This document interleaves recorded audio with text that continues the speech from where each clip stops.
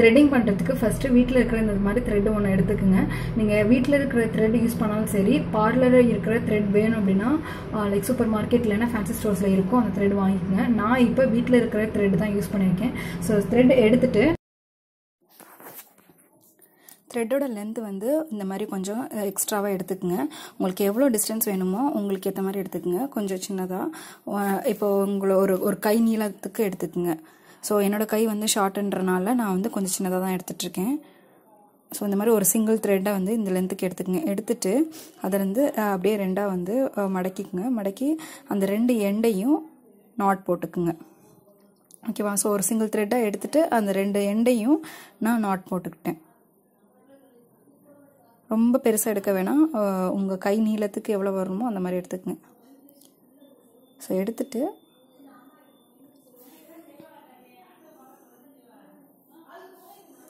எடுத்துகிட்டு பார்த்தீங்கன்னா இந்த மாதிரி உங்களுக்கு ஒரு பேண்ட் ஷேப்பில் வரணும். இந்த மாதிரி ஒரு கம்ப்ளீட் சர்க்கிள் வர மாதிரி இந்த மாதிரி இருக்கணும். நல்லா வந்து செக் பண்ணிக்கோங்க. த்ரெட்டோட இது வந்து ஃப்ளெக்சிபிலிட்டியை உங்களுக்கு அந்த நாட் வந்து அவுறாமல் நல்லா வந்து ஸ்ட்ராங்காக இருக்கணும். அண்ட் தென் டிஸ்டன்ஸ் இந்த மாதிரி ஒரு ரெண்டு ஹேண்ட்ஸுக்கு நடுவால் டிஸ்டன்ஸ் இந்த அளவுக்கு இருந்தாலே போதும். ஓகேவா இந்த மாதிரி உங்களுக்கு நல்லா அதோட ஃப்ளெக்சிபிலிட்டியும் அந்த ஹேண்ட்ஸோட ஓகே.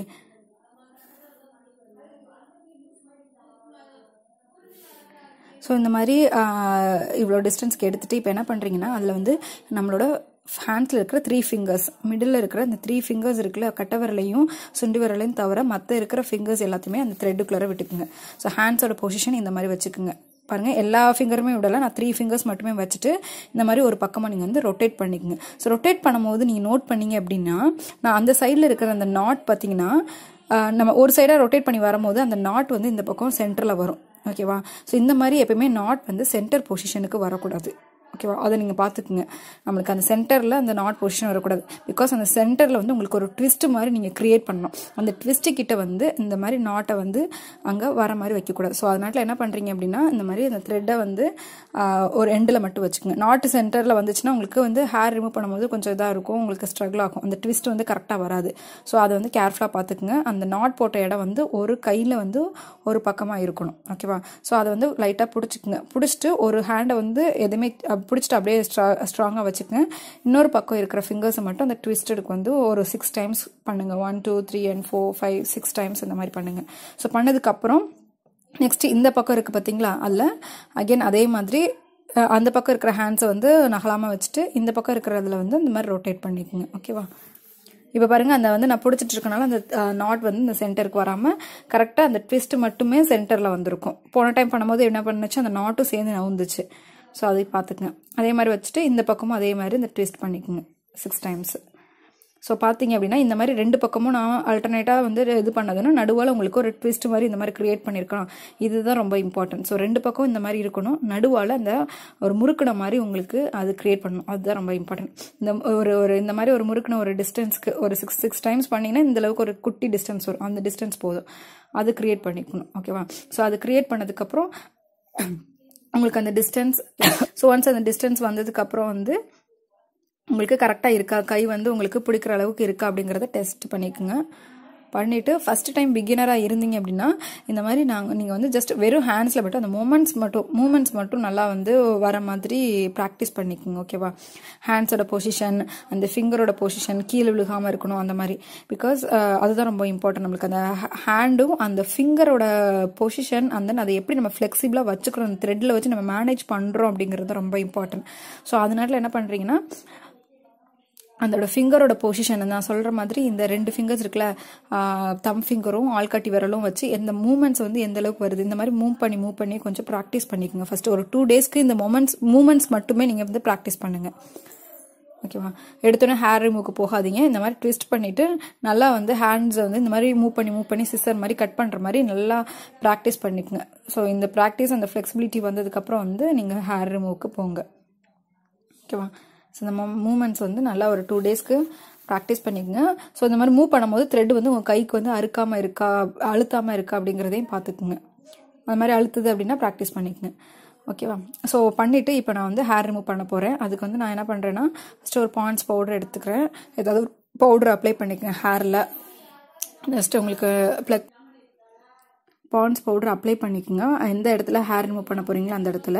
இப்போ நான் வந்து வீடியோக்காக ஹேண்டில் இருக்கிற ஹேர்ஸை எப்படி ரிமூவ் பண்ணுறது அப்படிங்கிறது தான் நான் காமிக்க போகிறேன் ப்ராக்டிஸ்னால நீங்களுமே ஃபஸ்ட் டைம் ப்ராக்டிஸ் பண்ணுறீங்கன்னா ஜஸ்ட் லெக்கில் இருக்கிற ஹேண்ட்ஸில் இருக்கிற ஹேர்ஸை வச்சு ரிமூவ் பண்ணி ப்ராக்டிஸ் பண்ணிவிட்டு அந்த மாதிரி போங்க.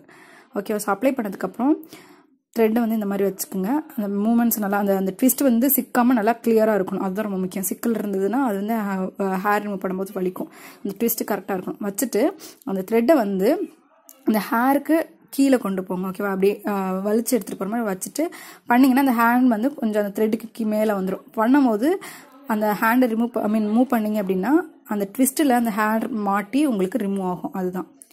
புரியுதா? அந்த ஹேர் வந்து அந்த த்ரெட்டுக்கு நடுவால் வச்சுட்டு ஹேண்டை வந்து மூவ் பண்ணிங்கன்னா அந்த ட்விஸ்ட் வந்து நகரும். அந்த ட்விஸ்ட் நடுவால் இருக்கிற அந்த முறுக்கு மாதிரி இருக்குல்ல அது நகரும் போது அந்த ஹேர் வந்து ஆட்டோமேட்டிக்காக கட் ஆகிடும் அவ்வளோதான் ஓகேவா? ஸோ பார்த்தீங்க அப்படின்னா நான் வந்து ஹேர்ஸை வந்து ரிமூவ் பண்ணியிருக்கேன். லைட்டாக ஒன்றும் இல்லை இப்போ பேப்பரில் வந்து எப்படி சிசர்ஸ் வச்சு கட் பண்ணுறீங்க அந்த மாதிரி தான் ஸோ பேப்பர் இருக்குன்னா சிசருக்கு ரெண்டு பக்கம் இருக்குன்னா நடுவில் வச்சு தானே நம்ம கட் பண்ணுறோம் அதே மாதிரி இந்த ரெண்டு பக்கம் த்ரெட்டுக்கு நடுவால் அந்த ஹேரை கொண்டு வந்துட்டு இதை வந்து கட் பண்ணுறீங்க ஓகேவா ஸோ பாருங்கள் நான் ஹேர் ரிமூவ் ஆயிருக்கு அந்த ட்விஸ்ட்டில் வந்து பார்த்தீங்கன்னா அந்த ஹேர் ரிமூவ் ஆனது வந்து வந்திருக்கும். ஸோ அந்த நடுவால் இருக்கிற அந்த அந்த முறுக்கிற மாதிரி இருக்குல்ல அதுதான் ரொம்ப இம்பார்ட்டன்ஸ் அதை வச்சு வச்சு தான் நம்ம வந்து கட் பண்ண போகிறோம் ஸோ ரொம்ப வந்து அதை அதில் மாட்டிக்கிருச்சுன்னா ஜஸ்ட் நீங்கள் ஹேண்ட் ரிமூவ் பண்ணாலே அந்த ஹேர் கட் ஆயிரும். மாட்டிட்டு நீங்கள் அப்படியே டக்குன்னு இப்படி ஹே கையை வந்து வேகமாக இழுக்காதீங்க. இழுத்தீங்கன்னா அந்த ஹேர் வந்து அப்படியே பிடுங்கின மாதிரி வந்துடும் அது ரொம்ப வலிக்கும். அந்த மாதிரி பண்ணாமல் ஜஸ்ட் அந்த ஹேருக்கு நடுவால் வச்சுட்டு அந்த ஹேண்டை மட்டும் அந்த ஃபிங்கர்ஸை மட்டும் நீங்கள் மூவ் பண்ணாலே போதும். ஆட்டோமேட்டிக்காக அது கட் ஆகிடும் ரொம்ப அதில் அந்த முறுக்கிறதுல வந்து ஹே ஹேர்ஸை மாட்டிக்கிட்டு ரொம்ப அப்படியே கஷ்டப்படாதீங்க.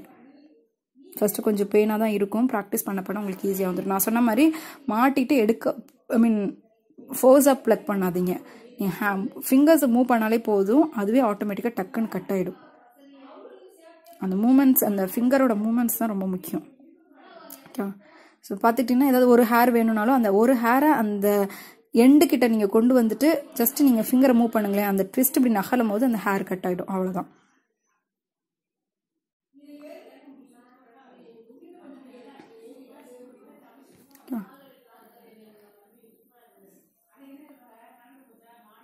ஸோ பொறுமையாக அந்த மாதிரி ஃபஸ்ட்டு ஹேண்ட்ஸில் ஒரு ஒரு ஹேர்லாம் எப்படி இருக்குது ஒரு ஷேப் மாதிரி கொண்டு வந்துக்குங்க. அந்த மாதிரி ப்ராக்டிஸ் பண்ணதுக்கப்புறம் நீங்கள் வந்து ஐப்ரோஸ்க்கு கொண்டு வாங்க.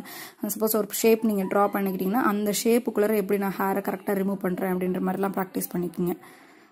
ஸோ நான் வந்து இப்போ சென்டராக ஒரு பார்த்தீங்கன்னா தெரியும். கொஞ்சம் சென்டராக இருக்கிற அந்த இடத்துல ஃபுல்லாக ஹேரை வந்து நான் ரிமூவ் பண்ணியிருக்கேன்.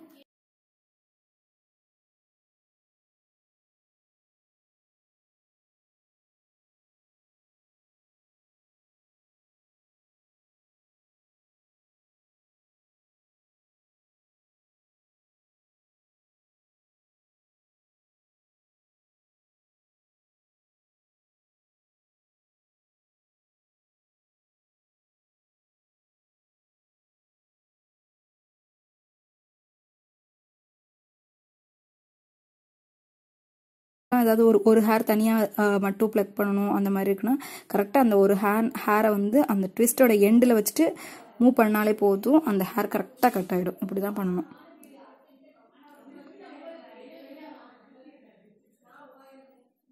ஸோ கரெக்டாக அந்த இடத்துல இருக்கிற எல்லா அந்த ரவுண்டாக ஒரு ஷேப் மாதிரி ஃபிக்ஸ் பண்ணிவிட்டு அதுக்குள்ளே இருக்கிற எல்லா ஹேர்ஸையும் கரெக்டாக நான் ரிமூவ் பண்ணிகிட்ருக்கேன் என்னோட நான் பண்ணும்போது என்னோடய ஹேண்ட் மூமெண்ட்ஸ் மட்டும் பாருங்கள் வேறு எதுவுமே பண்ணல. ஜஸ்ட்டு நான் ரெண்டு ஃபிங்கர்ஸ் அந்த தம் ஃபிங்கரும் அந்த ஆள்காட்டி விரல் ரெண்டையும் வச்சு தான் அந்த ட்விஸ்ட்டை மட்டுமே நான் மூவ் பண்ணிக்கிறேன். அந்த ட்விஸ்ட்டை மூவ் பண்ணாலே போதும். சிஸ்ஸர் மாதிரி கட் பண்ணுறது தான் அதுவே கட் ஆகிடுச்சு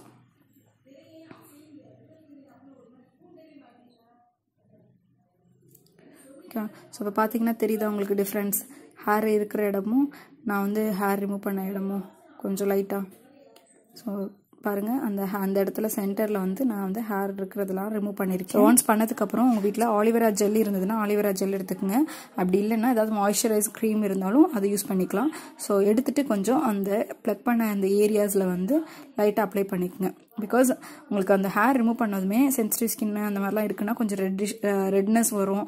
கொஞ்சம் வலிக்கும் அந்த மாதிரி இருக்கும். ஸோ ஜஸ்ட் நீங்கள் இந்த மாதிரி மாய்ஸ்சரைசர் ஏதாவது இருந்ததுன்னா அப்ளை பண்ணி கொஞ்சம் மசாஜ் மாதிரி பண்ணிக்கிட்டிங்கன்னா கொஞ்சம் அந்த எரிச்சல் இருக்காது ரெட்னஸ் ரொம்ப டக்குன்னு வராது வீக்கம் இருக்காது. ஸோ இது மறந்துடாமல் பண்ணுங்க. உங்களுக்கு ஐ மீன் ஹேர்ஸ் ரிமூவ் பண்ணிவிட்டு அப்படியே டக்குன்னு விட்டுறாதீங்க. பிகாஸ் நம்ம வந்து இதை வந்து ஃபோர்ஸை வந்து ஃப்ரம் ரூட்லேருந்து நம்ம ப்ளக் பண்ணுறனால ஹேண்ட்ஸ்க்கு வந்து சம் ஸ்கின்க்கு வந்து கொஞ்சம் ஒரு மாதிரி இருக்கும். அதுக்காக. ஸோ இப்போ பார்த்தீங்கன்னா நல்லா தெரியுதா? ஹேர் இருக்கிற இடமும் நான் ஹேர்ஸ் ரிமூவ் பண்ண இடமும் க்ளீனாக உங்களுக்கு ஹேர்ஸ் ரிமூவ் பண்ணியிருக்கேன் ஸோ இந்த மாதிரி வந்து